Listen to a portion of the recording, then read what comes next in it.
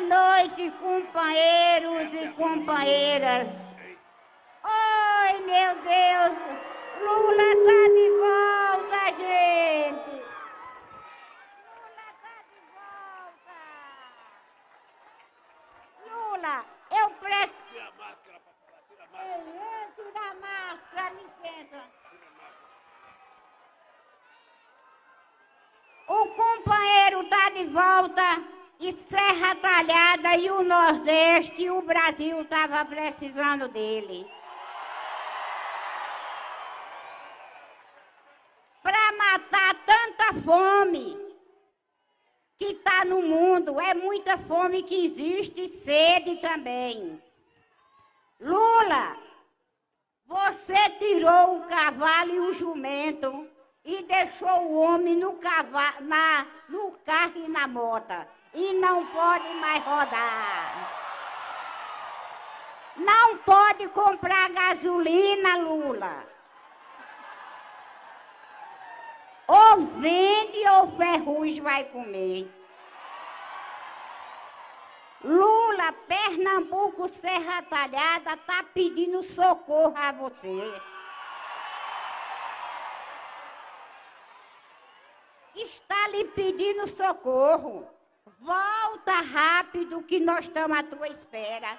E esse povo tá todo te esperando, Lula. Olha, Lula, a multidão de gente que tem em Serra Talhada te esperando. Lula, é porque o tempo é pouco.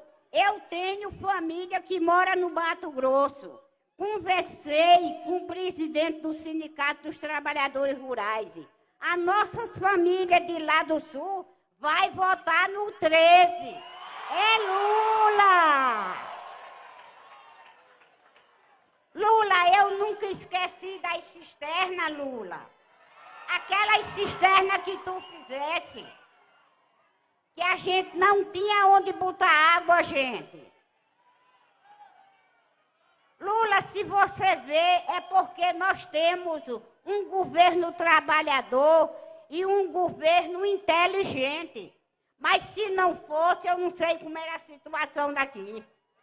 Lula, como é a quantidade de gente que perdeu seus entes queridos por causa de uma vacina que disse que era uma gripe.